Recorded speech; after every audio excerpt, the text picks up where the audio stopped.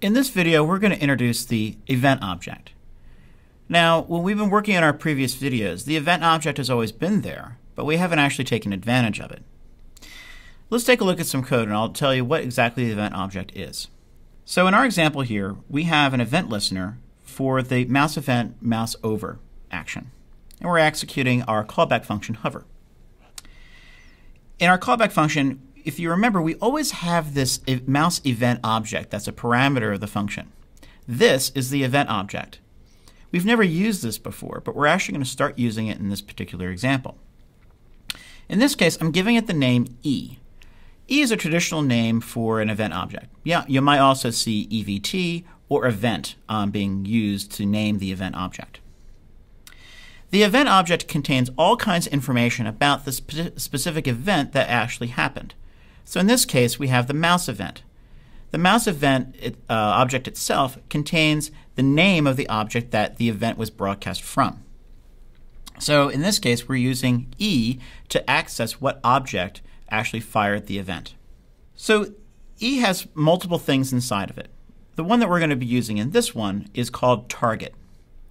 So in this example, I am applying my mouse event event listener to the main timeline. So I'm not associating it with a specific object. I'm associating it with everything that's on the timeline. If you look, I have five circles on the stage. Each one of these circles has a specific name.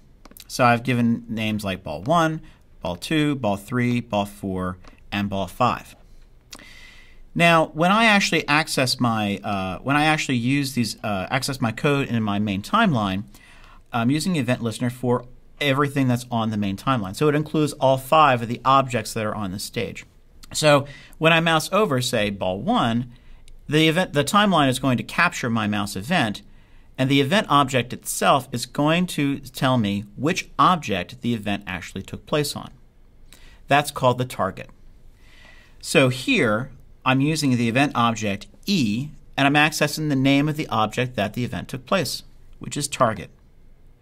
I'm then going to modify a property of target called alpha, which represents transparency. I'm going to give it a transparency of 0.5, which is half transparent. The other one I'm going to access is called name. Target represents the object itself, and it's a pointer to the, to the object that ActionScript can use. Name is the actual name that I've given the object in a string. So in this case, I'm going to use the name of that object and add that to my trace statement so I can see what object I'm working with on the output panel. So let's actually take a look at this and see how it runs. So right now I have my mouse events are being fired as I, as I move across the screen. But right now it's not actually doing anything to mouse, I'm not actually mousing over anything yet. So as soon as I mouse over this particular object, you'll see that it becomes semi-transparent. And I have a new message in the output panel. Says, now over ball 1.